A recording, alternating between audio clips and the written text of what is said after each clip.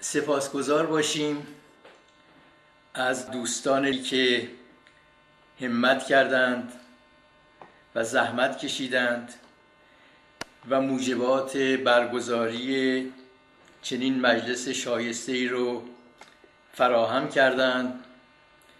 برای گرامی داشته خدمات فرهنگی و ادبی خانمی شایسته و به معنای کلمه والا.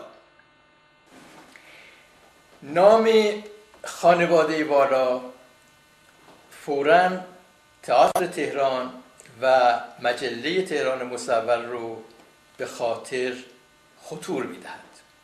دراز باد عمر خانم لوبت والا که خوشبختانه هم از سلامت جسمی برخوردارند هم از سلامت فکری و ذهنی و تصمیم گرفتند که همواره هم والا باقی بمانند و هم لوبت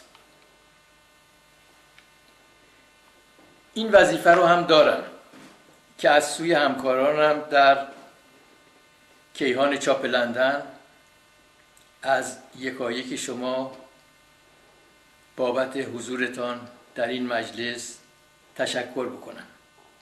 به ویژه از طرف بنیانگذار و مدیر کیهان آقای دکتر مصباحزاده که البته مسبوقید چندیست به علت بیماری شدید متاسفانه قدرت تحرک رو از دست دادن و همگی قبول دارید که جایشون در این مجلس بسیار خالی است. متشکرم.